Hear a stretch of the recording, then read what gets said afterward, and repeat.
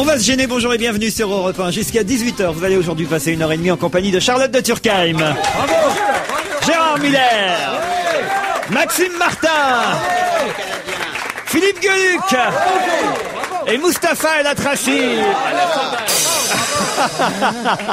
Qu'est-ce que vous avez fait de Jérémy Michalak, Mais je Mustapha sais pas, ce matin on l'a pas retrouvé, j'avais donné rendez-vous à l'Alsace et je l'ai pas Ah trouvé. mais si, oh, il paraît qu'on l'a on l'a vu sur une choucroute et qu'il repartait en cuisine. Je crois qu'il s'est fait contrôler par les flics, on l'a pas retrouvé. je Ah, vous crois. croyez Je sais pas, ouais. Regardez, je vous offre un nouveau partenaire, Maxime Martin. Maxime Martin. La francophonie est réunie Oui. autour de Oh, cette table. Oui. Universel. Il manque un Suisse. Très beau. Ah oui, ah ben Johnny Johnny. Hallyday vient de partir. On va en parler de Johnny, hein, évidemment. Qui, La qui- francophonie chaude. il- Hein Bah ouais. Ce que je trouve génial, moi, chez Johnny, c'est que il a pas peur. Ouais. Il a pas honte, quoi. Il le fait et il dit pourquoi il le fait. Parce que les autres, ils disent, je pars en Suisse parce, Parce que j'aime la Suisse. Ouais, j'aime Ouais. Suisse. J'aime le chocolat suisse. Et ça fait tellement longtemps que je que je rêve de pouvoir manger pendant six mois et un jour du chocolat suisse. Lui, C'est ce que lui, je il a trouve, pas peur. euh, hallucinant, c'est que il le dit. Non, ce qui est rigolo, c'est que c'est parce qu'il a pas réussi en Belgique qu'il va en Suisse.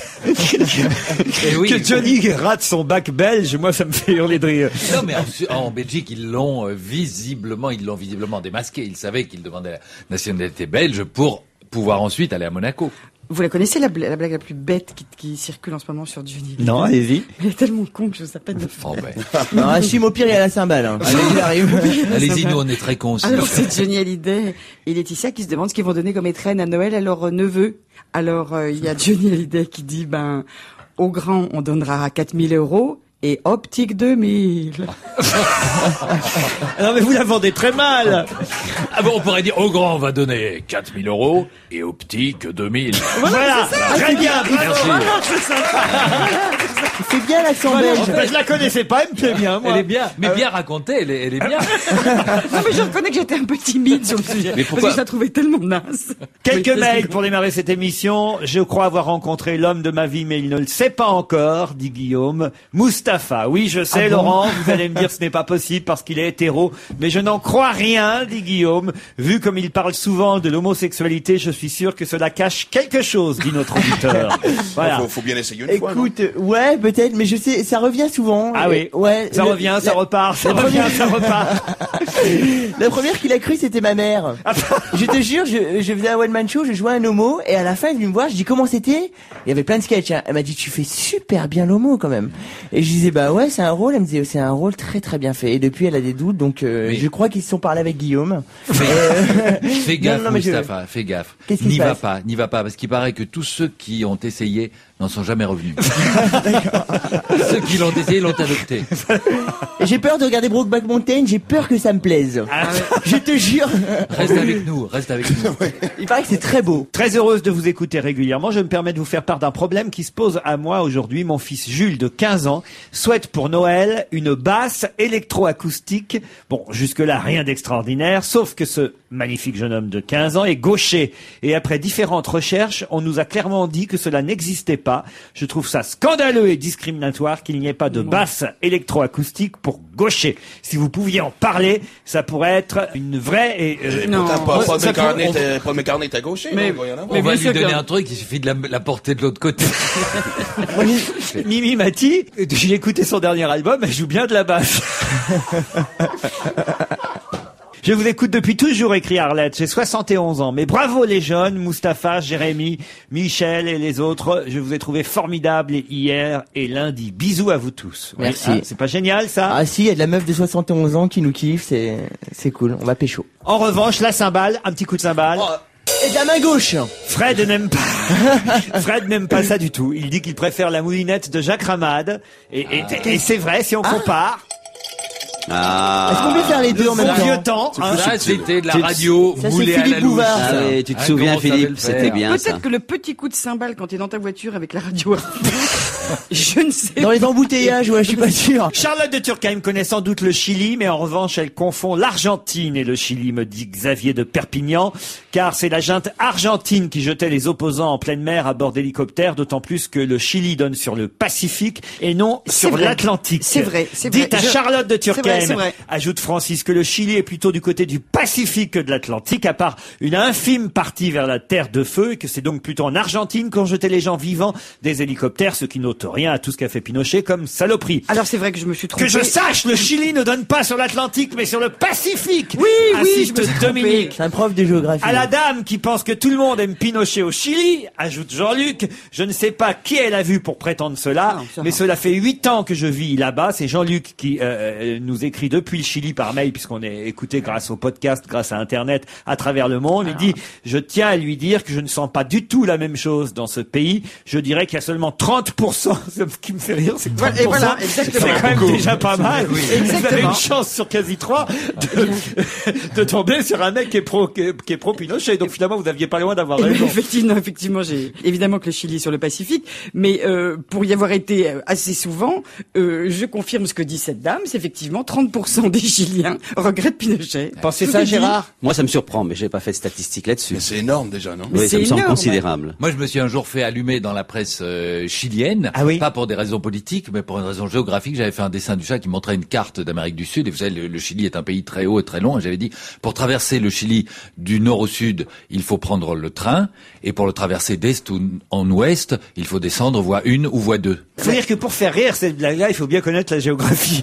Mais oui, je me rends compte, je, je vois la, la Ah, moi, mine, pas la compris, mine moi. effondrée des gens. Et vous savez qu'ils Je se voulais sont... mettre un coup de cymbale, mais j'ai pas cours de compris. géographie. Et vous savez qu'ils Mustapha. Alors t'as t'as l'impression que le Chili, quand tu regardes une carte d'Amérique du Sud, c'est un pays qui, qui simplement que tu as que la plage, tu vois, du, du nord au sud. Mais, mais regarde, et puis tu, tout à l'heure tu rentreras chez toi, tu ouvriras ton, ton encyclopédie ou ton dictionnaire, tu verras la carte du Chili et tu éclateras de rire à ma vanne. Ça veut dire que Philippe Gueluc et Pinochet s'entendent comme chilien et chat. Je voulais dire aux petits jeunes, je voulais dire aux petits jeunes qui sont aujourd'hui présents qu'un autre petit jeune que je connais bien, qui est Stevie, qui est à peine plus âgé que vous, hier, dans l'enregistrement de l'émission de Christine qui sera diffusée samedi, nous a fait un coup éblouissant. À un moment donné, pour nous piéger, Christine a demandé qu'on dessine certaines cartes, carte de l'Angleterre, et à un moment, carte de l'endroit où Madonna a cherché son petit garçon, c'est le Malawi. Le Malawi. Et il a fait quand même une carte à peu près exacte du Malawi. Moi, j'étais épaté par son érudition. Ça, alors, il faut dire qu'ils s'entendent bien, Christine et Stevie s'appellent toujours la veille. hein. Et il y a un autre, il y a un autre truc. euh, Gérard est vraiment un grand naïf. Le Malawi. Je veux bien que Stevie connaisse pas mal sa géographie, qu'à la limite il vous fasse une carte de l'Afrique correcte, mais une carte du Malawi, non, Gérard. c'était une carte grossièrement faite, mais il savait que le Malawi avait un certain nombre de caractéristiques, comme Philippe connaît les caractéristiques du Chili. Bien Et je, je le dis aux plus jeunes, c'est-à-dire que l'érudition est parfois nécessaire, et pas seulement la jeunesse. Il me Par regarde contre, avec des yeux de de merlan. faire une carte de la France, il a galéré, il paraît. C'est vachement dur, la carte de la France.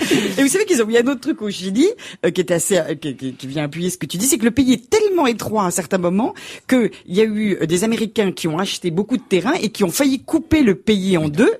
Euh, ce qui a été finalement interdit parce que tout d'un coup, c'était tellement étroit qu'on pouvait se permettre d'acheter un morceau entier. Tu te rends compte, imagine la France coupée en deux d'est en ouest? Moi, ce qui me plaît dans Pinochet, parce qu'il n'y a pas grand-chose euh, finalement dans, dans cet homme-là qui peut plaire, C'est une drôle de façon de commencer une phrase, moi. Ce qui me plaît dans Pinochet. c'est son nom, parce que Bah on a tous joué à ça, je veux dire. Mais non, pas, nous pas, nous pas. Quand on était petits garçons, on jouait simplement au hocher, nous. C'était, c'était un hocher à une boule. Rappelez-vous.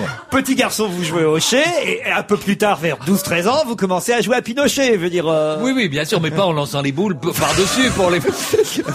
Ça peut faire très mal. Ça, ça m'a toujours intrigué ce Évidemment. nom. C'est vrai, c'est quand même un nom curieux, Gérard. Pas Vous vous, étiez plus intrigué par le nom que par la chose elle-même, si je comprends bien, à 12-13 ans. Je sais pas, Gérard, mais euh, quand même, je trouve que. Oui, c'est vrai. Non. Vous savez que ça n'a pas la même signification euh, là-bas qu'ici, donc euh, ça n'est pas très grave. Vous savez que Ruquier, par exemple, au Malawi, vous savez que ça veut dire père de couilles là-bas. Les gens sont morts de rire à l'idée que l'émission est animée par Ruquier. Ils n'arrivent pas à le croire. C'est Oui. c'est à la radio là au Au Malawi. Burkina Faso, Miller veut dire petite bite. J'ai quelques questions pour vous mettre euh, en forme et évidemment euh, vérifier si vous avez bien lu les journaux aujourd'hui. On parle beaucoup dans les journaux ce matin et il faut dire qu'il est dans l'actualité de Maurice Obrejean. Maurice Obrejean, il faut le savoir, il a 82 ans et il fait partie d'un jury aujourd'hui. Alors, je peux pas vous dire quel jury, mais c'est d'autant plus étonnant qu'il fasse partie de ce jury qu'avant, il a été vainqueur du prix qu'il va décerner aujourd'hui avec d'autres membres de ce jury. Est-ce qu'il n'a pas été le bébé Cadom en 1925 Excellente réponse de Philippe Gueluc Mais Comment vous savez ça Mais attendez, posez-moi d'autres questions. Je sais à peu près tout, surtout. Tu vas nous faire une carte du Malawi maintenant, si. Vous avez lu Libération ce matin Mais oui, je suis tombé dessus. J'ai trouvé, je me dis, tiens, ce type a une tête Exactement. de vieux bébé. Et La société Cadom relance le concours de beauté pour les Oh, bébés. quelle bonne idée. Ça faisait quand même quelques années que n'existait plus. Vous quelle connaissiez bonne vous le idée. bébé Cadom euh Non, du tout, mais on fait ça chez nous aussi, des espèces de concours de bébés. Pourtant, je, que tous les bébés se ressemblent, mais bon. c'est- Sauf que le bébé Cadom, ça a 100 ans, Il y a- et les jeunes le connaissent. Vous connaissiez Mme Moussa Je connaissais, ouais. Ben oui, parce que c'est une expression qui est restée. T'as une tête de bébé Cadom, oh, le bébé Cadom, alors que euh, le concours n'existe plus depuis je ne sais combien oui. d'années. Et ça reprend aujourd'hui, c'est ce matin que le nouveau bébé Cadom était désigné. Et dans le jury, le premier bébé Cadom, bon aujourd'hui il a 82 ans, il a pas tout à fait, pas tout à fait les mêmes joues qu'à l'époque. Mais il paraît qu'il faut le changer trois fois par jour, comme, comme à Comme à l'époque. Ah, C'est une info incroyable quand même. Le bébé Ah, Cadom est de euh, retour, voilà, et on va quand même saluer ce premier bébé, Monsieur Maurice euh, Grosjean, qui a eu Ça une va vie d'ailleurs. espèce de, de Starac des bébés, c'est ça, ça va être, C'est le euh, plus beau bébé, le Mais bébé pour, joufflu. savons. C'était notamment, on voyait son visage sur des savons. euh, Ce qui est étonnant, c'est que euh, bah, il- il il a pas la photo, euh, ce monsieur. Il a plus de photos de lui, bébé Cadom, Ah oui. alors qu'il avait un an. Alors, c'est une triste histoire, en fait, tout simplement. Euh, son appartement de Nogent a été pillé pendant euh, la guerre. hein. Il faut quand même donc rappeler, il a 82 ans euh, aujourd'hui, donc il ne lui reste plus rien, ni photo, ni document, euh, à part celle euh, qui montre, euh, alors qu'il a euh, lui euh, 8 ans, euh, et où on le voit à côté de ses frères et de ses sœurs, qui ont été exterminés avec leur maman à Auschwitz, et, et le papa n'est jamais revenu lui d'un maquis euh, dans la Nièvre. Donc c'est vraiment l'histoire d'une famille euh, euh, terrible, quoi. Anéantie, oui. et, et- et- et au départ, il était pourtant le plus beau bébé euh, de France, le bébé euh, Cadom. Vous vous rendez compte un peu? Mais c'est c'est un joli concours. Moi, j'aurais jamais l'idée d'amener mes propres enfants quand ils étaient bébés faire un concours, mais je dois dire que j'aime bien voir les concours euh, de ce genre-là. Autre question, que vont pouvoir faire les habitants de Fontainebleau en 2008 euh, qu'ont pu faire les habitants d'Ajaccio en 2001 Euh, Faire aller à la sauter plage. des commissariats. Ça, c'est assez étonnant. On l'apprend dans la presse encore aujourd'hui. Ça, euh, alors voilà, en 2008, si vous habitez Fontainebleau, vous allez pouvoir faire ce qu'ont fait les habitants d'Ajaccio en 2001. Est-ce que Vous ça a un avez rapport compris avec la question nature Pas du tout. Avec les rochers. Rien glandé, je sais pas. Non, quelque chose d'assez Avec la- original. avec hein. la politique. Ah, ça a un rapport avec la politique. Bravo Charlotte. Voilà, élire, élire quelqu'un qui s'appelle Bonaparte ou quelque chose comme Élire- ça. Excellente réponse de Philippe Gueluc. Ah non mais c'est incroyable. Écoutez, vous, vous avez dit, vous avez dit maintenant qu'il fallait être jeune et puis lire les journaux pour faire votre émission. Donc, j'ai pris rendez-vous pour me faire un lifting et porter un complément capillaire. Et moi, je t'ai offert, la presse. et je t'ai offert un abonnement à Okapi. Eh bien, vous allez pouvoir effectivement voter Napoléon si vous habitez euh, Fontainebleau en 2008, car euh, le descendant direct de Napoléon, euh, Charles Napoléon, descendant du frère cadet de Napoléon Ier, sera candidat au municipal à Fontainebleau en 2008 et il avait été élu adjoint au maire d'Ajaccio en mars 2001. Ah, c'est bien. Ah, c'est rigolant quand même. Ouais, c'est bien. Autre question. On a vu dimanche soir pour la première fois un homme en jean dans cet endroit. À l'Élysée. Non, Euh, Au Sénat, non, C'était en France? C'est en Non, France, ouais, au, non? au Cap d'Agde non. En Angleterre. Vous devriez connaître, En hein, parce Chine. qu'on ne parle que de ça. Dans- On a vu pour la première fois un homme en jean dans cet endroit dimanche soir. En Angleterre. Non. Ah, je sais, sûrement au Vatican. Non, Dans l'espace. non, À la Maison Blanche. non. Oh, c'est une actualité dont tout le monde Mais parle. c'est- c'est un lieu particulièrement éminent, imposant. Un lieu où on ne devrait pas être habillé. Oh, de- autrement, pas en Genre dans une grande mosquée ou Non. un- une histoire Au comme ça. temple bouddhiste. C'est pas, c'est pas religieux. On peut aller en jean en C'est mosquée, c'est en mosquée. Asie? Non, je vais vous aider. Vous avez À la piscine. Non, vous avez proposé le Vatican. C'est en Italie en tout cas. À, euh, à l'opéra? Où? À la Scala Ah. de Milan À la Scala de Milan. Pourquoi? Pour, pour- pour aller applaudir ou siffler Roberto Alagna. Non, non, non. Le, le chef d'orchestre, ah, non. peut-être le chef d'orchestre. Non, de le la chanteur, le, Le chanteur, chanteur principal. Non, le chanteur. mais non. Mais la chanteuse principale. Mais non, un, un ouvreur, public enfin une Un- ouvreuse. Ou non, celui qui un- ouais, c'est- Le voiturier Non. Mais attendez. Qu'est-ce qui s'est passé à la Scala de Milan? Bah, il s'est fait siffler, euh, Roberto- Alagna. le remplaçant de Roberto Le Alagna remplaçant. est arrivé excellente réponse de dans, dans Philippe. Aïda, il est double arrivé sur cymbale. scène en jean puisqu'il Ah n'avait pas eu le temps d'enfiler ce- le, le- son costume. Bah oui. Il était en Il train d'enfiler quelque voilà, il était en train d'enfiler un costumière. Ah, mais bien sûr. On peut- et et euh, Exactement. on a dû sauter sur scène. Il est en Exactement. forme, hein. euh, C'est 3-0 pour vous quand même. Ouais. Antonello Palombi, le remplaçant qui a dû au pied levé euh, remplacer pendant le premier acte euh, Roberto Alagna, effectivement était encore en jean évidemment parce qu'il n'avait pas prévu de rentrer à ce moment-là sur scène. Mais qu'est-ce qui lui est arrivé à Roberto Alagna? Il était tellement mauvais que tout le monde l'a sifflé? Oui, non, il y a deux trois qui l'ont sifflé. Il y a eu des mauvaises critiques la veille. Et alors il est parti. Ce qui devait être rigolo, c'était de voir le mec en jean, évidemment à la Scala de Milan, chanter au milieu du décor pharaonique, puisque c'est quand même Aïda euh, de Verdi, dans une mise en scène de euh, Franco euh, Zeffirelli. Et alors, ça j'ignorais, moi, Franco Zeffirelli, le metteur en scène donc de Aïda de Verdi à, à la Scala de Milan, c'est quel âge il a aujourd'hui? 87, Eh ouais. Voilà, exactement. il a, Il a été 80 bébé cadeau à une époque, je crois. non, mais il a 82 ou 83 ans et j'ignorais en plus qu'il était sénateur. C'est un homme politique aujourd'hui. c'est un sénateur euh, italien, Ah, c'est pas en France qu'on a des sénateurs de 80 ans, hein, franchement. non. Mais vous voyez, ça, ce genre de truc peut devenir une mode. Dans cinq ans, tous les gens vont porter un jean à l'opéra. non, mais c'est vrai, c'est toujours... À mon avis, il y a déjà euh, eu des mises en scène très modernes avec des doute. chanteurs en jean. Oh c'est oui. pourquoi moi j'ai dit à la Scala de Milan parce que je suis moins sûr que la Scala de Milan ça a eu euh, lieu, même si le directeur de la Scala de Milan aujourd'hui est français, il s'appelle Stéphane euh, Lissner. Et on dit aussi que si Roberto Alagna a été euh, sifflé, c'est aussi un peu le directeur de la Scala de Milan qui est critiqué depuis quelques années en Italie et que peut-être c'est les deux ensemble qui ont fait l'objet d'une cabale. Mais il y, avait une autre célèbre mise en scène qui avait été très critiquée, c'était Al-Qaïda de Verdi.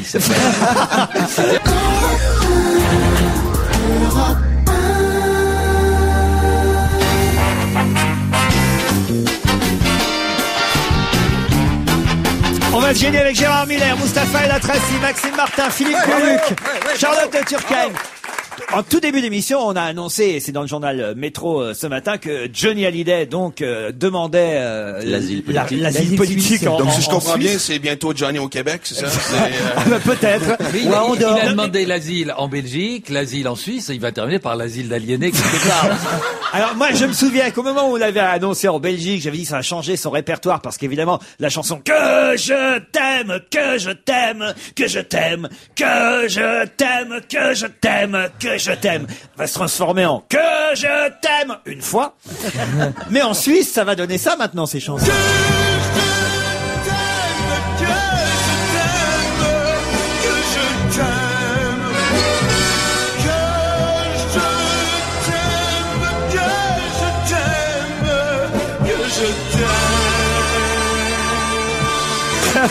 voilà comment va chanter Johnny maintenant, évidemment. Oui, mais on trouvait avec Gérard Miller que ça tenait la route, même comme ça. oui, c'est que c'est vachement Il triste. chante et comme ça maintenant. Et puis, C'est un véritable enregistrement. Et puis ça va être bien, il va retourner des spots avec des cloches de vache et loyal, loyal, optique de mille, loyal, loyal. Il va pouvoir chanter Verdi ou Heidi, Heidi, Aïda. Bon, enfin, euh, j'ai d'autres questions encore, hein, parce qu'on Oui. s'entraîne hein, jusqu'à 17h, Gérard. C'est ça la nouvelle formule. Là, il y a quelque chose d'assez étonnant en Floride qui fait un tabac. Vous savez que c'est le moment où on commence à décorer son sapin un peu partout euh, dans le monde, le sapin de Noël. Et là, ils ont lancé en Floride des nouvelles décorations qui font fureur. Ah, vous êtes au courant, vous exact, décoration érotique. Alors, du genre Euh, Des c'est- vraies boules. Ouais, ouais, c'est. euh, je crois que c'est, c'est, il y a, il y a, il y a un bonhomme de neige qui, Qui se masturbe. Qui se masturbe. Voilà, Je- J'allais exactement. pas dire masturber, mais maintenant Des- non. va vers la porte. des rennes qui s'enfilent. Ah, mais peu comme au- ça, un peu régulièrement comme au concours Miss France. Une enfilade de rennes. C'est Madame de Fontenay qui... Madame de Fontenay vous présente une enfilade de rennes. Mais vous voulez dire qu'un un bonhomme de neige qui se masturbe, ça veut dire qu'on lui râpe la carotte fait En tout cas, c'est une excellente réponse de Maxime Martin. Bravo. Ouais, mais je suis pas très sûr d'être fier d'avoir la réponse à ce genre de Oui, oui, Oui, Charlotte, je vous vois bien chez vous installer ce genre de oui, décoration dans le sapin. Je Hein pense que ça, ça plairait beaucoup à cette petite réunion familiale turcaine de voir. question Non, de mais, tuer les grands-parents. mais surtout, je me dis, mais qui va acheter ça? C'est ça. Ça, c'est quand Mais c'est ce qui est même. dommage. Il y a même une Ah, si. petite figurine Mustapha qui a à mettre en haut du sapin sur le pic. C'est sa maman qui va être contente. C'est Guillaume qui va être content. Le- Excusez-moi, le, le, le, le bonhomme de neige qui se masturbe, ça rappelle un petit peu le sperme congelé de René, de, de René Angélil. mais si vous appuyez sur la tête, il chante du Céline Dion. Alors justement, à propos de sapin de Noël, autre question. Là, alors c'est assez étonnant, c'est dans l'aéroport international de Seattle, donc aux États-Unis, qu'on a été obligé d'enlever le sapin de Noël. Pourquoi?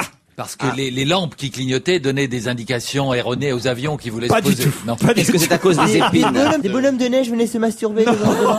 Est-ce que c'est à cause des épines? Non, C'est un truc religieux. Oui, exact. Ouais. Bravo. Bah, parce qu'il y avait trop de signes religieux sur la- le sapin. Pas ça vraiment, mais le sapin Le Noël sapin en lui-même. en sapin- lui-même est ah un oui. signe religieux. Alors, qui a protesté Et la Les communauté. Ah, musulmane et juive. Juive, un rabbin qui euh, est passé par l'aéroport, a porté plainte et a demandé. Alors, je vous allez m'expliquer parce que moi je ne connais pas la religion juive, Gérard. Oui. Euh, il a demandé euh, que euh, une menorah géante soit également Ah, voilà. exposée Eh ben, pendant ça, la période des souvent fêtes. à, à la porte des, des habitations juives, il y a une sorte de petite Torah qui est protégée dans dans un petit réceptacle et lorsqu'on rentre euh, à l'intérieur de la Ah, on doit une toucher. mezouza, Ah, une mezouza, C'est une mezouza. Je connais mieux la religion juive que Gérard Oui, c'est ça. Bravo Moustapha. oui, c'est une mezouza. Oui, absolument. Et alors la menorah, ça doit être c'est une Torah, non? C'est quoi la Ah menorah ben non, c'est rien. Ah ben j'en sais bravo Gérard. Non, la menorah, je crois que c'est Gérard est un escroc. J'en sais rien. Il est bouddhiste, en vrai. Il est bouddhiste. Eh bien, alors, je crois que je vais répondre à ta, je catholicisme se crois que je vais répondre à ta question. Une menorah, je crois que c'est un chandelier. T'as un chandelier, Ah, mince. exactement, on vient Oh de le dire. Chandelier. Il y a combien Voilà. de branches Gérard ça y est, on Combien connaît les juifs de l'émission. Oh, Gé- Gérard, combien de branches a le, le chandelier Oh Alors, je crois que je peux répondre. C'est 8, je crois, non En tout cas, voilà, ils ont été obligés d'enlever le sapin de Noël. Enfin. Alors, bah oui, écoutez, c'est assez... Alors, ça, c'est ridicule. Bon, je précise aux auditeurs que je suis devant le mur d'Europe 1 en train de faire des lamentations. je me couvre la tête de cendre, moi, juif, ignorant tout ça. Ne connaissant ni la mezouza ni la menorah. Alors hier, on a parlé dans l'émission d'un tableau, et ce sera l'objet d'une autre question, un tableau peint euh, euh, avec Madame Thierry Blair, la femme euh, du Premier ministre, qui avait posé euh, nue à l'époque où elle était encore étudiante. Mais il y a un autre tableau, Je crois que vous allez dire à l'époque où elle était encore belle. il y a un autre tableau qui fait Winston beaucoup... Churchill. Excellente réponse de Mustapha, une question qui n'a pas encore beaucoup. été posée. Eh oui. Alors Et on s'est pas appelé hier. hein. Ah non, non, mais ce qui est vrai, c'est qu'il y a un, un tableau qui a été vendu aux enchères et qui a battu euh, des records euh, lundi soir chez Sotheby's à Londres, quand même euh, 1,2 million de dollars. Tableau offert à l'époque au général américain George Marshall, tableau peint par Winston Churchill, un tableau qui s'appelle Vue de Tinnerir, ah, peint au Maroc, c'est peut-être pour ça que vous le savez, pour ça Mustapha. que je suis au courant, voilà. En 1951, je savais pas qu'il peignait moi Winston Churchill. Tous. Mais oui, Churchill avait des talents absolument notoires de peintre, de peintre du dimanche. Churchill avait peut-être des talents euh, de peintre, mais je voudrais vous parler d'un président actuel d'un pays membre de l'Union européenne, la Slovénie, Monsieur Janez Droznek. C'est pas une question que je vais vous poser. Lui, il est végétarien, ce président euh, slovène. Bon, voilà, un point de départ de l'info. Alors, je précise tout, ça veut dire qu'il ne mange pas de viande. On, l- on l'a vu agenouillé devant un Père Noël dans un aéroport. euh, euh, Il gay. a reçu Non. les félicitations de Brigitte Bardot. L'actrice a même déclaré qu'elle souhaitait que nous ayons aussi en France au moins un candidat à la présidentielle qui soit végétarien, car cela prouve que c'est un homme qui aime les bêtes. Le monde deviendra rapidement moins insupportable avec un président végétarien, aurait dit Brigitte Bardot. Sauf que Marianne, cette semaine, nous rappelle qu'Adolf Hitler était végétarien et que ça n'arrange pas vraiment les choses. Ah non, mais il avait des règles alimentaires absolument strictes, Hitler, et donc c'était en rien Et un puis c'est signe pas- de bonne C'est pas santé tout psychique. à fait vrai de dire qu'un végétarien est quelqu'un qui aime les bêtes, c'est quelqu'un qui aime surtout les légumes. Ah, j'en ai, je- j'en ai une bien con, tiens, sur Brigitte Bardot. Ah oui, allez-y. C'est un vieux monsieur qui dit à sa femme qui est très vieille et très moche, tu voulais ressembler à Brigitte Bardot? Eh ben, c'est fait. Je la connaissais dans d'autres versions, mais elle est. euh, tous Mais bon, les- que lui qui peut nous la faire en mieux. les Parce que trois. j'ai- Oui, j'ai remarqué que tu fais mes blagues en mieux. Non, non. Alors, vas-y. Mais non, Ah, non, parce que vas-y. c'est quand c'est Jo- c'est que quand c'est Ah, c'est Johnny. que quand c'est parce que Johnny. là, ça marche pas avec Johnny. Vas-y, essaye Tu avec voulais Johnny, avec ressembler, Johnny. C'est Johnny qui tu dit. voulais ressembler à Brigitte Bardot. Allez, j'ai une dernière Eh bien- question avant euh, le flash de 17h, euh, parce que c'est intéressant, vous avez vu partout dans le monde en ce moment, euh, ce sont les femmes qui sont mises euh, à l'honneur et qui remplacent les hommes dans certains pouvoirs euh, politiques et postes de haute importance. Et bien là, dans les journaux aujourd'hui, et dans les journaux du monde entier, un homme remplace une femme. À quel poste? La playmate de Playboy. Non. Un non, homme est enceinte pour la première fois. Non, non, non, non, non. Pour la Vierge Marie. Non. Pauvre Gérard. Non, je ne sais pas. Je sais que vous connaissez pas les religions, mais à ce point-là, la femme du pape. non. Il paraît qu'il est un copain. Non, non, non. C'est tout simple, hein. Oh, dans la crèche, ils ont remplacé Non, Marie par un non, homme rien à voir avec C'est- dans un pays bien précis. Ça concerne le monde entier. Là, il se trouve qu'en fait, euh, la femme était américaine et l'homme qui la remplace est portoricain. Ah. C'est pas la présidence de l'ONU ou un Non. truc comme ça. Non, non, c'est certainement sur une effigie. c'est- Non, c'est- non, c'est beaucoup plus simple que C'est un poste vraiment. C'est un titre. Ah, président de l'association des femmes. Non. Alors, euh, Un titre honorifique, un titre, c'est pas un vrai titre, mais quand même. mais quand même. où, où il est important d'être une femme, où il était important d'être une Non, femme. non, non, Ah, non, non, non. Le mais ça a plus- toujours été. le- plus riche du monde. Il se trouve plus- que jusque-là, c'était plutôt toujours des femmes. En, en- en moyenne, on va dire que c'était majoritairement des femmes à chaque fois qui obtenaient ce titre. Là, C'est une élection. Sûrement, Éditeur d'une revue de, de mode. euh, sûrement pas pour la première fois, mais en tout cas, c'est assez rare pour que je le souligne et que euh, je le soumette à votre sagacité. C'est un homme. Mais est-ce que c'est une élection qui non, permet ce n'est pas une élection. Un titre. Euh, que- on, on le fait pas vraiment exprès quand on obtient ce titre, mais en même temps, Ah, le plus vieil homme du monde. Exactement la doyenne de l'humanité, l'américaine Elizabeth Belden, reconnue comme la personne la plus âgée au monde, est décédée à l'âge de Je 116 croyais ans. qu'on avait découvert que c'était un homme. On aurait mis du temps, dites donc, la pauvre, si elle a attendu tout ce temps. Elle est morte à 116 ans dans sa maison de retraite euh, dans le Tennessee et on a tous en Ah nous. oui, quelque chose de Tennessee. Voilà, et c'est Johnny Hallyday qui la remplace. non, c'est un portoricain qui, Eh lui, a 115 ans, elle en avait 116. Emilio Mercado del Toro, qui devient euh, la personne la plus âgée au monde. C'est donc un homme qui devient euh, Ah oui, doyenne de l'humanité. Et c'est ma première bonne réponse de l'émission. Bravo, Et un Gérard. coup de cymbale comme tout le monde. Merci. Ça nous fait Et plaisir. Clémentine Autain a été très déçue parce qu'elle était persuadée que la doyenne de l'humanité qui venait de disparaître, c'était Marie-Georges Buffet. On va gêner toujours avec Philippe Gueluc, Maxime Martin, Mustapha El Akrassi, Gérard Miller, Charlotte de Turkheim. Philippe Gueluc, peut-être je vous ai oublié, mon cher Philippe. Non, vous m'avez cité en premier, mais, Mais ça me fait très plaisir. Mieux que- vaut deux fois qu'une. Exactement. Oui, je vous dis, mieux vaut deux fois qu'une. C'est-à-dire que je pensais déjà à notre correspondant téléphonique, à notre invité qu'on va remercier euh, à l'avance d'avoir accepté de répondre à quelques questions. D'abord parce qu'on est fiers qu'un Français monte sur un podium, premier Français à monter cette saison sur un podium de Coupe du Monde. Dans quelle discipline Le ski et plus précisément dans le super combiné. Monsieur Pierrick Bourgeat, bonjour. Bonjour. Vous êtes à Grenoble? Oui, c'est ça, ouais. Il y a de la neige? Pas trop, mais bon, euh, j'espère qu'elle va arriver. Ne me dites pas que vous avez gagné super combiné parce qu'il n'y avait pas de neige. Euh, non, non, mais là-bas en Autriche, ils arrivent toujours à en faire pour les courses. Ça Alors aurait là, été la super combine. et non plus le super combiné. Alors ça veut dire médaille euh, de bronze, hein, on est bien d'accord. Ouais. Euh, en Autriche, c'était ce week-end. Premier Français à monter cette saison sur un, un podium de Coupe du Monde. Vous n'êtes plus, tout- pardon hein, de vous dire ça, euh, vous n'êtes plus tout jeune. Ouais, ouais, c'est vrai. Et puis bon, ça fait un petit moment que je suis dans le circuit, donc euh, Et vous, vous avez quel âge, sans indiscrétion? J'ai 30 ans. 82 ans. Il est portoricain en vrai. 30 ans. Quels étaient les deux skieurs devant vous, leur nationalité? Bah, c'était un Croate et un Autrichien. Comment ça se fait que si les autres trichent, ils sont pas éliminés? De combien on rate? Ça c'est intéressant toujours parce que j'avoue je je suis pas toujours très près le, le, le ski. Euh, Ah bon? ça se fait à combien de secondes ou millième de seconde ou centième ou dixième de seconde? Bah là, ça, ça joue au centième. Hein. Euh, Bon, euh, à part le premier qui a une, une seconde, euh, une seconde et 40 centièmes devant. Puis après le deuxième, il est à, il est à 50 centièmes. Et vous alors donc par rapport au premier Bah moi, je suis à une seconde et demie de, du. Une seconde et demie du premier. Bah, c'est déjà Vous pouviez pas assez, faire un effort. Ouais, ouais, ouais, non, déjà- Une seconde. bon, à la prochaine, je vais essayer de, de, de faire un effort, pousser un peu plus. Quand, quand on est comme vous, quelqu'un qui, qui calcule en millième de seconde ou une seconde et demie, est-ce que dans la vie également, vous avez un autre rapport au temps que nous? Est-ce que ça s'oublie complètement le fait que vous soyez Alors, si t'as souvent T'as 8 secondes de retard, genre. Voilà. Est-ce que vous êtes Fais chier, hein. pour les pour les œufs à la coque Est-ce que c'est à la seconde près, etc. Ou est-ce que vous Non pour les gens en neige, Gérard.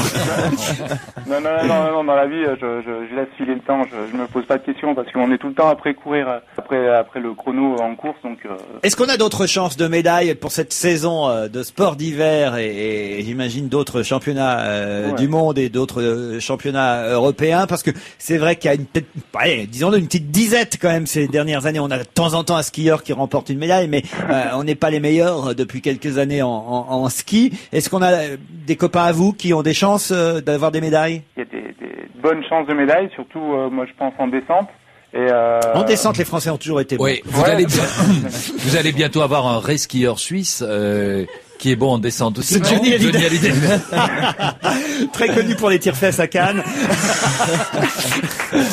en, en tout cas, vous partez demain en Italie et Ouais. vous euh, disputerez avec l'équipe de France euh, de ski cette fois le slalom. Ouais, c'est ça, ouais. ouais le slalom euh, ouais, d'Alta Badias. Alors expliquez-nous, pour ceux qui suivent pas très bien tout ça, le super combiné, là où vous avez eu une médaille, c'est quoi cette discipline par rapport aux autres? Alors, vous Bah. descendez comme tout le monde, ça c'est sûr. On fait un super géant, c'est une discipline de vitesse plutôt. Où on atteint, je sais pas, des, des 100, 90, 100 km heure. Et, et une autre discipline qui est le, le slalom, bon là c'est c'est plutôt des petits virages. Et après on fait le cumul des deux des deux disciplines, le temps de- des deux disciplines et ça fait ça donne le résultat. Ah donc il faut descendre deux fois pour obtenir la médaille. alors. Ouais, c'est ça, ouais. Et donc monter une fois. Monter deux fois. Pour descendre deux fois, il faut monter deux fois. Réfléchis si bien. haut. Eh ben, bravo pour cette médaille. du- L'idéal, c'est de faire ça avec un jumeau. En fait, il y en a un qui fait le slalom, l'autre qui fait la descente, et à Et- deux, ils gagnent le super combiné. Aussi. Et, vous- et vous, vous êtes meilleur en quoi Euh, en slalom. En slalom. J'arrive Donc- à refaire du, de mon, mon retard sur le slalom parce que, À la seconde et demie, vous l'avez perdu sur la descente, alors. ouais, c'est ça. Bah, le problème, c'est, c'est, toute une question de glisse, hein. Alors donc en Italie, en Italie c'est un slalom. Ouais, c'est 15 slaloms là-bas. Moi, j'ai un Ah. jour, sur une piste de ski, j'ai un jour croisé un rabbin qui m'a dit slalom. Oh non si euh, Gérard, c'est dire quoi ce slalom Gérard ne parle pas parce qu'il était maoïste, et quand on parle trop de ski, C'est ça, exactement. on va vous Oh, applaudir et vous remercier et vous féliciter encore pour votre médaille, même si elle n'est que de bronze. Et vous en souhaitez beaucoup d'autres pour la saison, et pourquoi pas avec l'équipe de France euh, lundi en Italie à Alta Badia. C'est bien ça ouais, Alta Badia, ouais. Merci ça. et bravo. Bah, merci à vous. Pierrick. Bourgeat. Alors, shalom, ça veut dire comme salam, c'est la paix. Hein, je tiens à le préciser parce qu'il y a quand même quelques connaissances que j'ai. Bravo. Le mot à la mode, euh, plutôt en cette fin d'année, c'est bonne année, bonne santé, meilleurs vœux. Et c'est évidemment l'époque, non seulement des cartes de vœux, mais des agendas. C'est le moment d'acheter son agenda pour 2007. Ça nous a valu cette semaine un papier dans le Parisien. Agenda 2007. Faites le bon choix.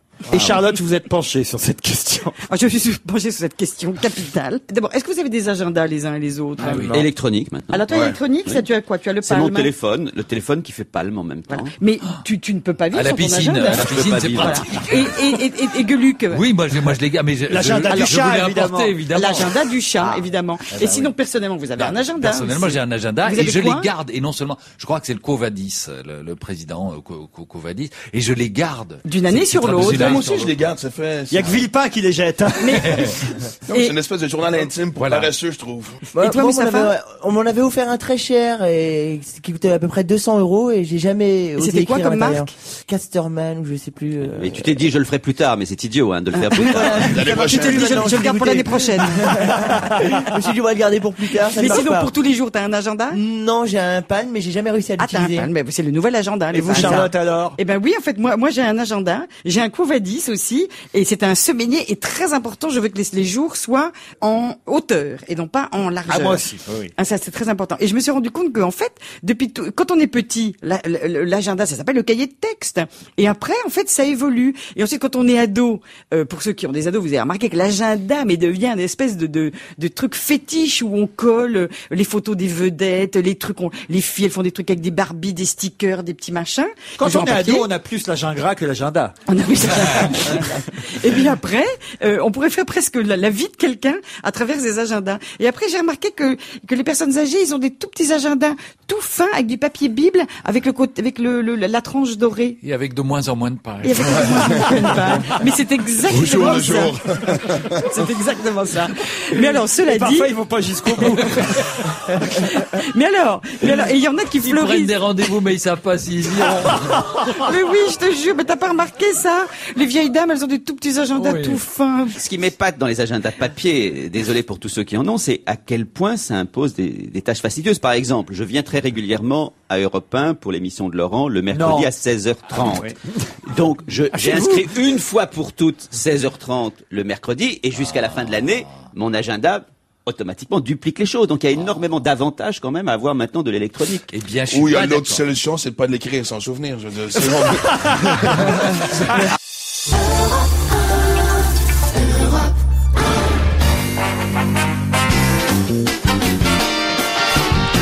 On va se gêner toujours avec Philippe Gueluc, Maxime Martin, Moustapha Latraci, Charlotte de Turckheim, Gérard Miller. Oh, il y a une histoire assez amusante dans Marianne, là. J'ai oublié de vous la donner hier et ça se passe euh, sur la Canebière à Marseille. J'aimerais avoir votre réaction, euh, Charlotte, si ça vous arrivait, puisque vous êtes la seule femme de cette équipe euh, aujourd'hui. À ce qu'on sache. Ah, Parce que Moustapha, il y a maintenant des questions qui se posent d'ensemble. Votre compagnon, votre mari, je sais pas si vous avez un compagnon, j'imagine en ce moment, débarque euh, chez vous, à, on va dire à l'improviste, et il vous surprend au lit avec avec deux hommes. Il y a déjà deux hommes dans le lit au moment où euh, il arrive. Une situation absolument euh, quotidienne. Banale. Banale. Vous annoncez ça déjà, c'est super étonnant. C'est ça déjà qui est étonnant. Le jeune homme donc rentre à l'improviste chez lui, il trouve sa petite amie avec deux hommes. Devant l'air gêné de tout le monde, évidemment, il fait un scandale. Et là, que fait la petite amie pour se justifier? Eh bien, elle lui explique qu'il s'agit de deux agresseurs qui menacent les jeunes filles de mort pour les voler. Les deux hommes sont donc arrêtés par la police. Quelques heures plus tard, ils sont libérés de leur garde à vue car leur innocence ne fait aucun doute. C'était en fait évidemment un stratagème, euh, une excuse, un argument qu'avait trouvé la jeune femme pour paraître euh, encore euh, Elle a quand même réfléchi assez vite, hein, Oh parce que. Ah oui. non, mais dans un moment de panique comme ça, Alors moi, je- trouvé ça On peut pas dire qu'elle soit paniquée, ils étaient deux. Alors moi, dans, moi quand même, je dis bravo parce qu'un un tel esprit d'à propos, je ne sais pas si euh, je trouverais ça quand même. Moi, j'aurais dit au mec, viens, on sera, plus on est de fou, plus on rit, quoi. Mais ça c'est vous, Laurent. Vous comprenez Ouais, ça prend toujours quelqu'un pour tenir la caméra, quoi. Alors, c'est qu'il y a, euh, on n'est pas très loin de cette histoire-là. Il y a une histoire étonnante dans François qui, décidément, il faut dire, j'ose à peine en parler parce qu'à la fois en parler, ça va évidemment colporter, euh, si ce n'est la rumeur, mais l'information. Et, et François, en ce moment, ils font des campagnes assez violentes. On l'a vu avec Pascal Sevran, même si ses propos euh, pouvaient être euh, contraires à l'éthique. Euh, Là, euh, après Sevran, c'est euh, au tour de Jean-Michel euh, Bailey, Jean-Michel Bailey, qui est le directeur de la Dépêche du Midi, qui est Radical de gauche. voilà, président du groupe des radicaux euh, de gauche. Et là, alors la une de François, c'est Jean-Michel Bailey a frappé son assistante. Alors on dit tiens, qu'est-ce qui se passe? Et on s'aperçoit euh, en lisant l'article, comment je pourrais vous dire ça, que oh ben, vous allez comprendre. Je vais pas moi en dire plus, je vais ne faire que citer le journal. euh, c'est mieux ainsi. Alors nous sommes sur une étrange histoire en 2002 en plus. À chaque fois, ce des histoires quand même qui datent. euh, c'est pas encore, ce serait arrivé la semaine dernière, on comprendrait. Là, ça date de 2002. Jean-Michel Bailey, à l'époque, euh, emploie depuis trois ans une assistante parlementaire avec laquelle il entretient, écrit l'article, des relations de grande confiance. déjà, déjà, rien que ça, tu commences à soupçonner le truc, tu vois. Et puis, euh, bon, ils ont des mots, je vais vous passer tous les détails, euh, ils s'engueulent, euh, hein. Et là, euh, il raconte euh, dans François que un soir, il est dans sa maison parce qu'elle venait le voir le week-end aussi de temps en temps dans sa maison. En toute hein. confiance toujours. En toute Ouais, ouais. confiance, en toute confiance. en toute confiance. Et son patron donc lui demande de la rejoindre dans la maison ce week-end-là. Euh, Il est environ minuit quand elle pénètre dans la propriété du sénateur, une confortable demeure entourée d'un parc, crie François. Elle monte au premier étage et selon un itinéraire qu'elle connaît. se rend dans la chambre de l'élu. Moi, C'est ça que j'aime. Mais y a pas de À aucun moment on vous dit, c'est pas son assistante, c'est sa maîtresse, c'est que des petits, selon un, un itinéraire qu'elle connaît, elle se, Si elle connaît finalement, ce qui est formidable dans François, c'est que c'est dégueulasse cet article, mais que c'est formidablement bien écrit. C'est toujours le problème de ce genre d'article. Selon un itinéraire qu'elle connaît, elle se rend dans la chambre de l'élu. Mais dites-le carrément, il baisse, quoi. C'est vrai, Et quand on, en habillé a- d'une tenue tout à fait suggestive. quand on en arrive là, autant dire les choses comme elles sont, Gérard. Oui, enfin moi, je trouve que François est sur une très mauvaise Oui. pente. Hein. C'est entre oui. entre ici Ouais. Paris, entrevue, et puis une presse qui date d'il y a un peu plus longtemps, quand même une presse de délation, une presse assez merveilleuse. Sauf que hein. si tout ce qui est écrit est vrai, c'est vrai que le type a un peu exagéré. Alors, Euh, qu'est-ce qu'il lui a fait bah, après Très énervé, il l'a frappé au visage parce que en fait il aurait intercepté un appel qu'elle aurait eu avec un, un autre homme. Voilà, il l'a entraîné au rez-de-chaussée après l'avoir frappé, exigeant qu'elle lui restitue un bijou offert en cadeau. D'abord il lui avait demandé de se mettre nu.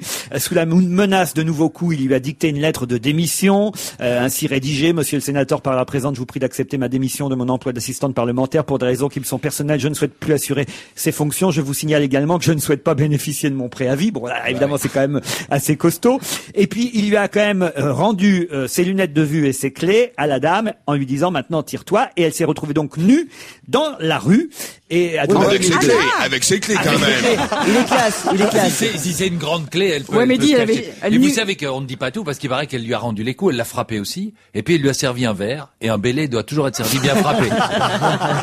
Mais est-ce que c'est passé devant la justice cette histoire 2002 Ben oui, ah, c'est ça l'histoire. Enfin, qu'est-ce que Pourquoi C'est ça? Toujours le genre de truc qui sort justement à la veille d'une campagne. On dirait qu'il y a des gens qui gardent un peu le truc. Ouais. euh, Et moi, je trouve que François, quand même, euh, ça fait deux, trois fois qu'il monte en épingle, quand même, des trucs qui sont limite, limite, quoi. Ouais. Il Donc, paraît c'est que c'est- plutôt eux que je trouve un peu douteux. en Il que c'est moment. Stephen King qui a repris la ligne éditoriale. T'as pas vu les titres? Le boucher sanguinaire, le...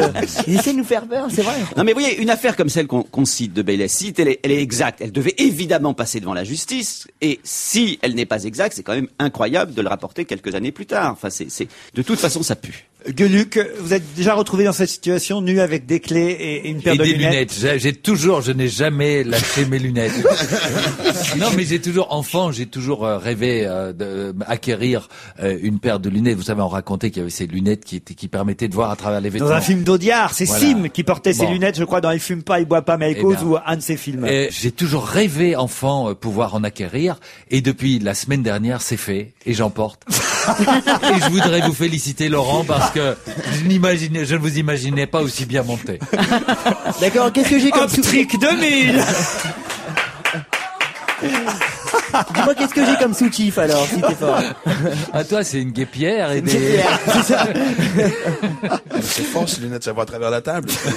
Ah oui, elles sont très, très, très, très fortes. Alors il y a de plus en plus de cons. Vous vouliez parler de ça euh, en France, euh, cher Maxime Martin. Alors, Ah, ben, de toute façon, les cons, c'est international, ça, j'ai dit. euh, j'ai toujours dit. euh, ça, ça, ça, ça- ça me rassure, en fait, de savoir que- qu'on soit aux États-Unis, au Québec, en France, des cons au mètre carré, il y en a énormément, quoi. Mais c'est même une proportion dans partout, dans tous les milieux, dans tous les pays, c'est toujours 80%, j'ai remarqué. à peu Ah ouais? Hein? Je, je me vais mets être dans un les peu vêtements. méchant, mais là-dessus, par contre, lorsque je regarde la population de cons mondiale qu'on a, je blâme un peu les femmes.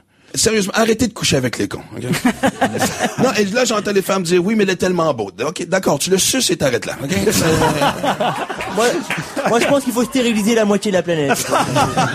C'est ça la solution.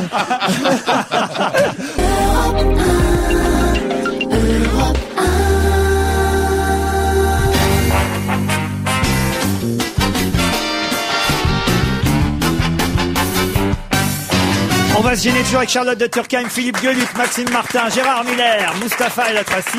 Et nous avons au téléphone Richard Kolenka. Bonjour. Bonjour. Parrain du festival Les Aventuriers. D'ailleurs, aujourd'hui, dans le journal euh, gratuit euh, Métro, on nous annonce effectivement Les Aventuriers euh, sur scène. Un nouveau groupe est né. Est-ce qu'on peut vraiment parler euh, d'un groupe que cette aventure que vous avez euh, lancée avec d'autres artistes? Aventure étonnante, c'est vrai, ça commence à Fontenay-sous-Bois ce soir, je crois, à l'espace Gérard Philippe, c'est bien ça? Oui, oui. et puis après, il y aura à travers la France six concerts exceptionnels. Lyon le 12 janvier prochain, Marseille le 13, Toulouse le 14 janvier, au Zénith à Paris euh, le 16 et le 18 janvier à Lille. Alors la question c'était, est-ce que c'est vraiment un groupe, euh, Richard Kolinka, que vous faites avec Bachung, avec Kali, avec Raphaël, Jean-Louis Aubert évidemment votre partenaire du groupe euh, Ex-Téléphone et Daniel Dark aussi? C'est quoi cette aventure? Voilà, en fait, voilà, moi je parraine un festival à Fontenay-sous-Bois et euh, l'année dernière, pour me remercier, il m'avait demandé de, de faire une soirée de clôture. Moi, en tant que batteur, forcément, euh, j'allais pas faire un saut de batterie de deux heures parce que même ma mère n'aurait pas supporté. Donc, euh, j'ai appelé des, des potes à moi et forcément qui sont un petit peu connus. On s'est dit bon, qu'est-ce qu'on va faire? On va pas faire un concert de M, un concert de Raphaël, de Jean-Louis. Donc, je leur ai demandé, bah voilà, on n'a qu'à reprendre des morceaux qui nous ont donné envie de faire de la musique ou qu'on aime bien actuellement, plus des morceaux de nous tous. Et puis on, on se mélange et on fait un super groupe.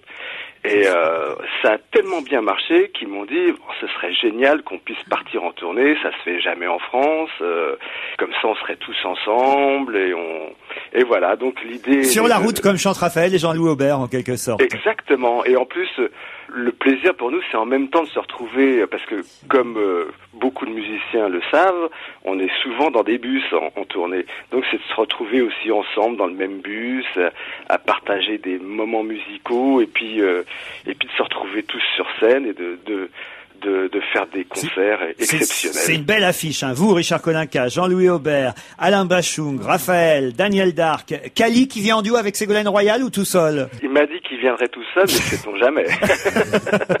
J'ai une question à vous poser parce qu'en début d'émission, on a un de nos auditeurs, ou plutôt une maman d'auditeur, puisque lui a 15 ans et il voulait une basse pour Noël. Alors je sais que vous êtes batteur vous, mais peut-être vous allez pouvoir répondre à cette question. Et cette maman euh, nous faisait remarquer qu'elle avait un mal de chien à trouver une basse pour son fils pour cadeau de Noël parce qu'il est gaucher. Alors moi je savais pas d'abord qu'il fallait des basses pour gaucher et pour droitier et elle dit ça n'existe pas. Euh, si, je crois qu'à Pigalle, il y a un magasin qui est justement euh, spécialisé dans les instruments pour gaucher. Mais sinon, c'est facile. Elle veut pas emmener son fils à Pigalle. Euh, Il n'a que 15 ans. Ça, ça a beaucoup changé. c'est plus ce que c'était. Mais, euh, mais par contre, par exemple, Jimi Hendrix sur- était gaucher et jouait sur une guitare de, de droitier, mais il montait les cordes à l'envers. Marseille, Toulouse, le Zénith de Paris le 16 janvier, Fontenay-sous-Bois. Alors ce soir c'est le début du festival, vous n'êtes pas tous sur scène, ce sera la soirée de clôture en fait, hein, où vous serez euh, tous ensemble, j'ai bien compris. Oui. Alors, et puis euh, Lyon euh, le 12 janvier, on va vous souhaiter une bonne route. Je vous invite à aller applaudir un de mes petits poulains qui en ce moment est au café de la danse parce que vous allez être surpris. Tous les, les types quasiment là qui, qui chantent avec vous, ils sont sur scène grâce à lui. C'est un nouvel imitateur mais qui fait voilà, euh, il y en a ras-le-bol d'entendre Mike Brandt et Sacha Distel. Lui il fait euh, Kali, euh, Delerme, Bachung, euh, Raphaël. Ça, ça vous dit d'écouter par exemple Raphaël imité par Michael Gregorio? Ah bah oui, avec Écoutez, écoutez avec nous parce que j'en ai les larmes aux yeux. Que la main ne tienne plus ensemble. Je suis dans cette caravane et nous partons, allez bien. Allez, viens,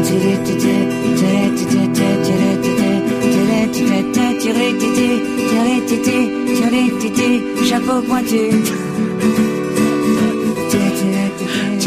Chapeau pointu, c'est sa version à lui.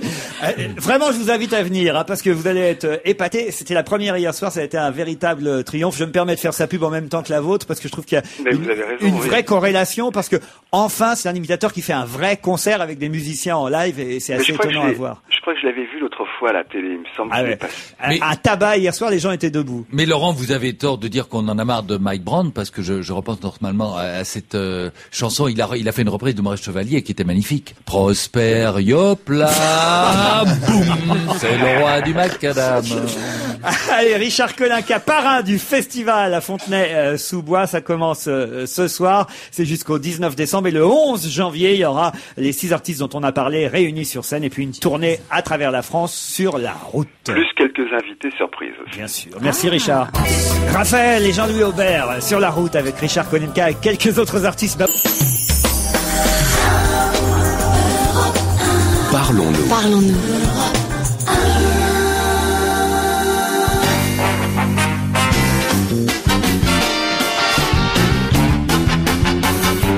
Mustapha, Charlotte, Gérard Muller, Gueluc, Maxime Martin et Serge Liado, Monsieur Chanson. C'est l'heure. Bonjour Serge. Bonjour Laurent, bonjour à tous. Et c'est le quiz de la semaine. À vos papiers, à vos stylos. Je vais laisser le temps aux auditeurs euh, de euh, trouver peut-être près de leur agenda, chère Charlotte de Turkheim, euh, leur stylo. Aux conducteurs de se garer parce qu'il y a eu des accidents à cause du quiz. Des gens me l'a signalé un peu partout en France. Et là, votre quiz concerne quoi et qui exactement? Ne donnez pas les noms, puisqu'évidemment, il faudra retrouver les six interprètes. Mais euh, quel est le point commun entre ces six chansons ou extraits de chansons? Bon, ce sont des introuvables ou presque, hein, des enregistrements qu'on trouve euh, pratiquement pas dans le commerce. C'est dommage d'ailleurs parce qu'ils en, ils engendrent pas la, la mélancolie. On va dire donc des interprètes originaux, pas originaux dans le sens où euh, c'est la première version de leur chanson, mais originaux dans le sens c'est rare quand ils chantent Voilà, c'est exactement ça. C'est rare quand ils chantent ou alors euh, certains débutent à ce moment-là. À, à- à Ou parfois ils n'ont rarement chanté ça. Voilà, où ils ont rarement chanté ça. Voilà. Voilà. C'est, euh, c'est On peut un- pas être un- plus plus vague. C'est très précis comme truc. Comme, comme il l'a dit, c'est introuvable. Écoutez bien et essayez de trouver les six noms en question. One day he come me along, the man I love, l'homme que j'aime est ici ce soir.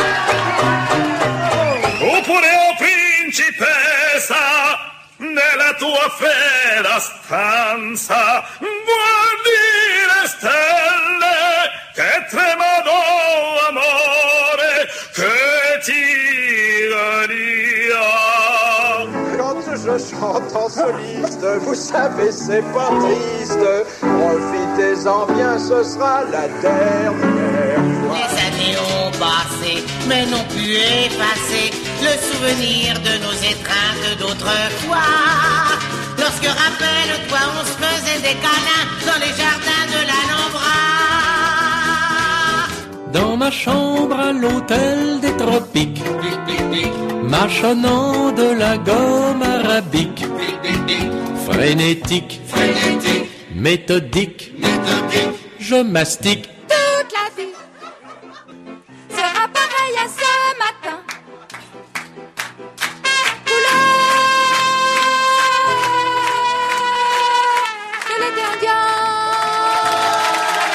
Alors là, là vous avez fait fort, Serge Liado. Moi, j'en ai quatre. Quatre, allez-y, Gérard. Moi, j'ai le Je pense quatre. Clémentine Célarier. Non.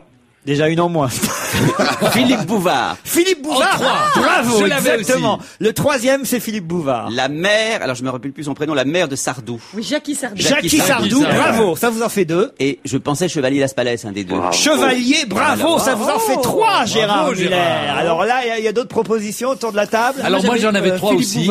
J'avais euh, j'avais Clémentine Célarier et j'avais Bouvard. J'ai Chevalier, Et moi, la, Ça fait quand là, même bravo, trois, mais pour deux Miller, réponses. 3 sur 6, bravo. Ah, j'ai beaucoup travaillé. Je vous propose qu'on réécoute l'extrait et comme ça les auditeurs sur europe1.fr évidemment pourront tenter de trouver les trois noms euh, manquants et je vais vous indiquer et vous rappeler évidemment les trois qu'on a trouvés. Celle-ci reste à identifier. Vous la voyez souvent à la télévision, je ne vous en dis pas plus. l'homme que j'aime est ici ce soir. Oppure o principessa Alors lui c'est un vrai chanteur, mais là il abat une nouvelle carte.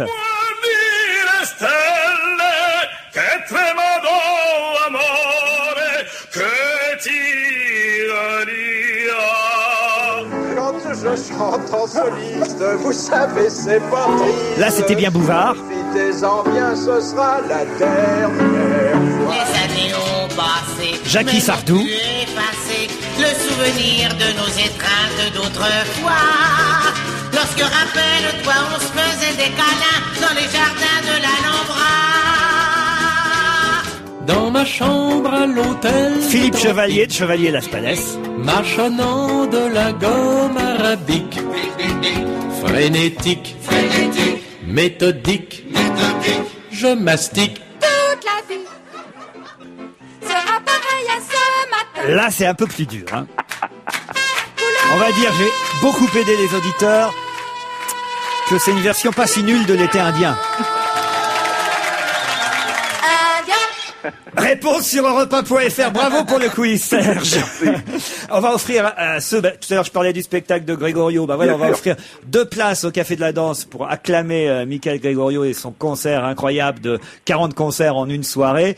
Maxime Martin, deux places pour votre spectacle. Ben, pourquoi pas, une fois parti, ouais. Au Trévise. Ouais. Hein, deux places pour le Et Trévise. moi aussi, j'offre deux places pour le spectacle de Maxime Martin, ça me fait plaisir. C'est cadeau.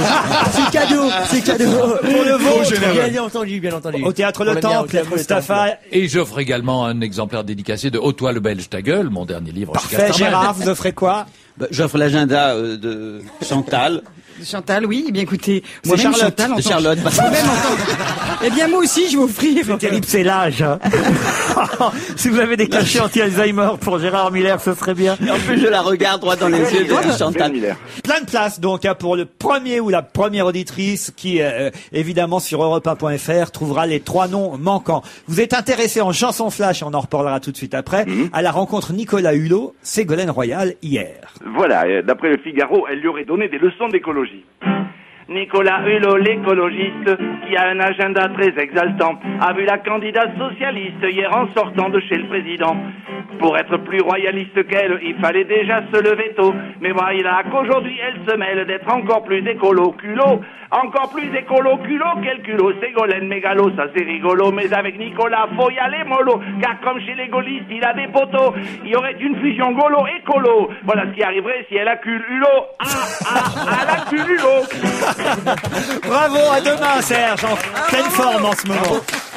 Alors c'est vrai que tout le monde veut rencontrer, je crois que Nicolas Sarkozy le fera euh, demain, euh, Nicolas Hulot, euh, peut-être candidat euh, écolo, encore qu'il puisse dire jusqu'à aujourd'hui qu'il ne sera pas candidat si euh, les candidats principaux signent son pacte euh, et, et suivent ses recommandations. Bon, Ségolène Royal dit qu'elle ira plus loin que ce qu'il propose parce qu'elle n'est pas d'accord avec tout puis elle trouve qu'il manque des choses. Sarkozy se dit prêt aussi à signer euh, le pacte écolo Nicolas Hulot. Ça vous inspire quoi tout, tout ces temps Enfin, j'ai l'impression qu'on peu importe ce que Ségolène fait, euh, Sarko va essayer de le faire aussi. ah donc, tous. ouais, De toute façon. Bayrou a déjà signé le pacte de Nicolas Hulot et quelques autres candidats. L'environnement est au cœur de la campagne. Moi, en, en spectacle, j'en parle beaucoup de l'environnement et souvent, j'ai pourquoi est-ce que je ferais des changements si je suis le seul? Et je me rends compte que vraiment, le vrai problème de l'environnement, forcément, c'est nous. Et c'est que en- on n'est plus l'animal instinctif qu'on a déjà été. On est, on est un peu déconnecté. On ne fait plus partie du système. Et le meilleur exemple, c'est tout le monde se souvient de la tragédie des tsunamis il y a deux ans. Vous en souvenez? Bon. Combien de carcasses animales ont été retrouvées après le drame? Zéro. Ouais. Puisque tous les animaux, et c'est une histoire très vraie, tous les animaux avaient eu l'instinct de se réfugier dans les hauteurs d'aller se cacher dans les montagnes Ah, deux jours ça. avant. Même pas deux heures avant, deux jours. Non. Ouais. Et nous, l'être humain, on est resté sur le bord de la plage. Non, mais c'est vrai ce que tu dis là Oui. Actuellement, on a tout de même retrouvé des poissons dans les arbres. Et les- animaux, ils rentrent pas dans les hôtels 5 étoiles. Et vous voyez général. que nous, il nous manque cet instinct de sauvegarde. Exactement, parce Eh oui. que je me dis, t'as 20 000 éléphants qui escaladent une montagne?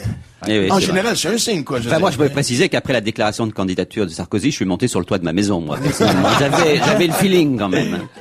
Non mais c'est une vraie, j'avais jamais pensé à ça, c'est une vraie belle réflexion. Mais c'est surtout aussi dans les détails, j'ai remarqué. J'ai une question pour vous, vraiment. Je suis très sérieux. En France, parce qu'on pense toujours, lorsqu'on parle d'environnement, que c'est une grande guerre et qu'il faut s'attaquer aux pollueurs, mais c'est surtout dans les petits gestes du quotidien. La question que je me pose, c'est pourquoi est-ce qu'ici en France, votre papier cul est rose? Ah moi j'en prends du violet. bon, mais... Ah, moi, j'en prends du marron. Mais pourquoi? Ça Parce fait qu'il y a un sur jet ton- Ouais, mais Mais il est sans comment déconner, sans déconner. Moi j'en prends du, je prends la marque trèfle pour avoir du cul toute l'année. Il est quelle couleur chez vous? Blanc. Parce que, non, mais sans déconner, l'encre qu'on utilise pour teindre le papier cul euh, du blanc au rose, c'est hyper polluant quand ça se retrouve dans les eaux. Et comme je vais, je vais vous rassurer les Français, euh, brun sur blanc ou brun sur rose, ça reste fucking brun. On peut être d'accord. Donc, arrêtez de décorer votre merde et, euh, non, C'est-à-dire que chez vous c'est tout le temps blanc le tout le papier. temps blanc, ouais. C'est Et vrai, souvent remarquez. fait à matière de papier recyclé. Excusez-moi, c'est tout le temps blanc, mais enfin, avant. Ah bon, ah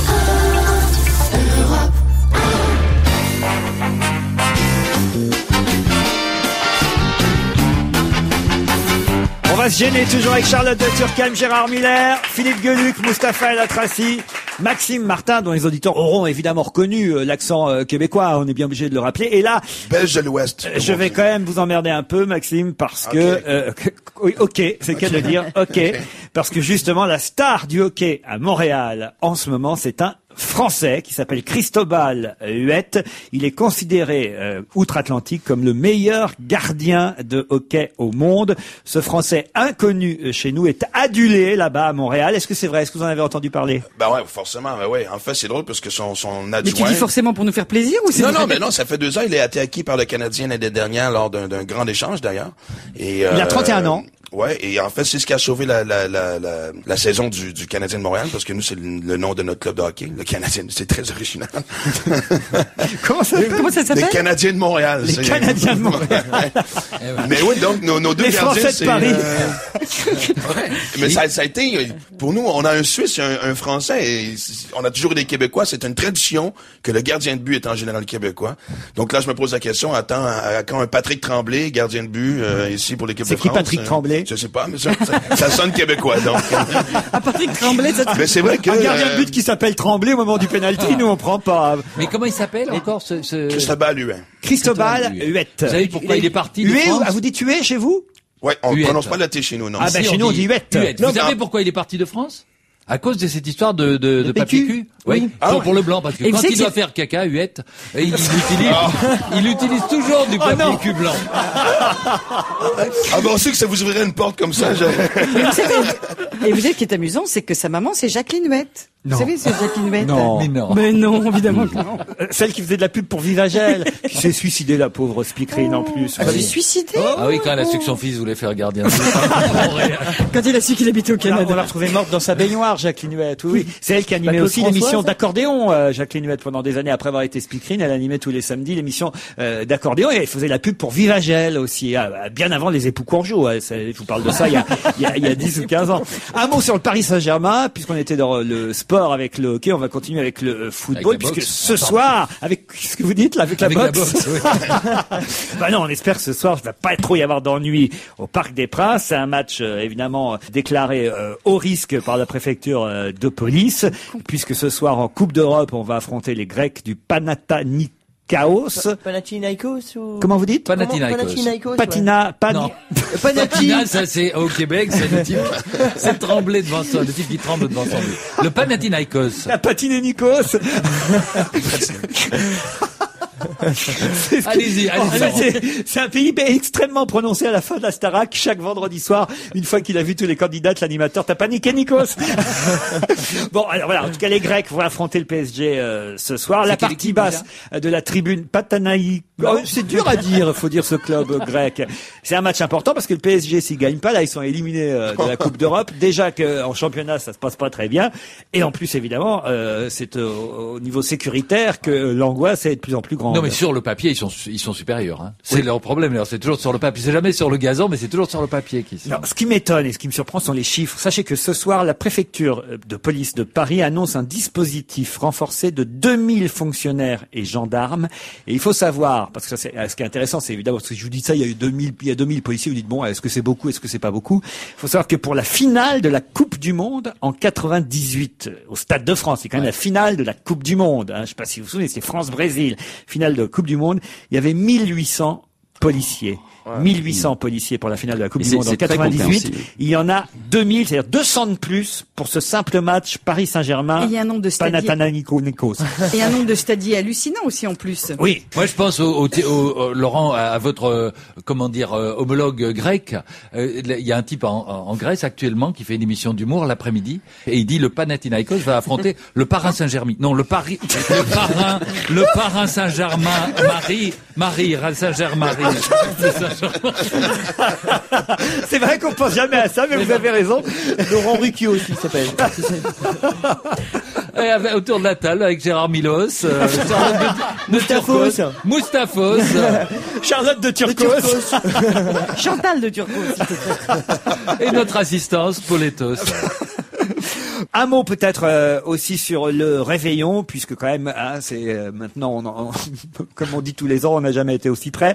Et, et, et là, il y a un sondage qui a été effectué par l'Observatoire Relax News des euh, loisirs sur le réveillon. Bon, alors il y a des chiffres un peu inintéressants. Bon, euh, euh, ceux qui croient encore au Père Noël, à quelle heure on fait euh, les cadeaux. Mais ce qui nous intéresse le plus, nous, c'est avec qui ça arrive tous les ans. Avec qui aimeriez-vous souhaiter parmi les personnalités que vous connaissez passer le euh, réveillon Eh bien, c'est avec Mimi Mati chez les femmes et Yannick Noah chez les hommes que les Français ont envie de passer le réveillon. Mais Mimi Mati, c'est parce que les gens ont des petits logements. Hein. C'est pour garnir la crèche. Non, mais il paraît qu'elle fait un tabac Mimi avec son album. Alors ça, je suis surpris parce que je savais même pas qu'il était sorti. On nous annonce qu'il est déjà disque d'or. Alors je sais pas comment c'est possible, mais enfin bon, euh, voilà. Qu'est-ce que- et qu'est-ce qu'elle chante? Sentons Des sous la pluie. Ah Sentons sous la pluie. Non, mais, et- et ça, ça prouve que vraiment la cote de Noah et la cote de Mimati est incroyable dans le cœur des Français. Voilà, les Français ont envie de passer leur réveillon avec Mimi et Yannick Noah. Voilà. Pas avec vous, Charlotte de Turckheim. Ils Non, n'ont non, pas mis je- Charlotte de Pas avec moi non plus, d'ailleurs. Mais Vous, Miller, encore moins. Pas encore moins, pas plus. Voilà. Il y a Jean Reno qui arrive derrière euh, Yannick Noah et Sophie Marceau derrière Mimati. C'est Mais pas ça- pour le même Ah, bah, moi, usage. je prends n'importe quel c'est pas congé avec. Sophie Marceau. Ah ouais Ah bah oui. Pour l'ambiance de la soirée, c'est bien que ce soit pas Yannick Noah et Pascal Sevran, par exemple. Ah oui, c'est vrai. Faut- ça, c'est sûr qu'au réveillon, faut faire attention. À qui on met, Alors tiens, ça c'est intéressant Oui. justement Qui parce que qui c'est euh, une des parties du sondage euh, effectué. De quoi allez-vous parler en famille, puisque et, généralement le réveillon se fait en famille. De quoi allez-vous parler à table Autour de quoi vont euh, euh, se dérouler les conversations Par exemple, on n'inviterait pas Pierre Bénichou et Dieudonné. Dans- à, la- à la même table le soir de Noël.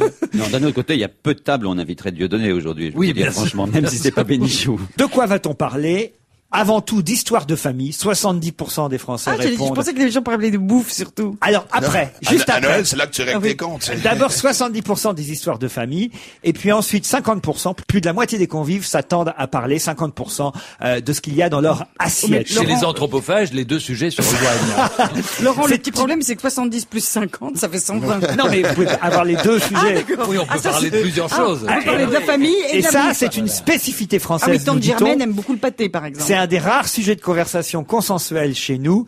Et justement, c'est une manière de contrebalancer les discussions et les disputes familiales qui risquent toujours un peu de dégénérer. Ah, je sais. on parle bouffe, on parle de ce qu'il y a dans l'assiette. Est-ce que c'est bon? Est-ce que c'est réussi? Ah non, c'était meilleur l'année dernière. Enfin bon, oui, voilà. mais ça dégénère souvent aussi, parce que je veux dire, quand on commente la dinde et qu'on dit que toi t'en t'en es une autre, on dit que l'oncle, l'oncle Gilbert à la bûche, enfin, etc. Vous parlez de quoi, vous, à Noël? Ben, j'ai l'impression que je parle exactement des mêmes sujets que pendant l'année avec euh, ma famille. Euh, je vois pas absolument des sujets spéciaux pour Noël. Votre perroquet va avoir... euh, parce qu'on n'a pas encore parlé du perroquet Ah ouais. Il va avoir un petit Noël, évidemment. C'est pas vrai. Ah oui, bien entendu. Qu'est-ce que tu Au veux lui pied de Des l'arbre. petites cacahuètes euh, de chez Fauchon?